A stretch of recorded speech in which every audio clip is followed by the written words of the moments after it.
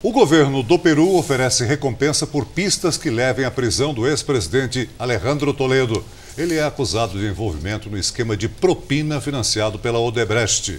Segundo autoridades, o ex-líder estaria nos Estados Unidos e planeja fugir para Israel, já que o país não tem acordo de extradição com o Peru. A justiça determinou a prisão de Toledo por 18 meses e emitiu um mandado internacional. A recompensa oferecida pelo Ministério do Interior é de 30 mil dólares.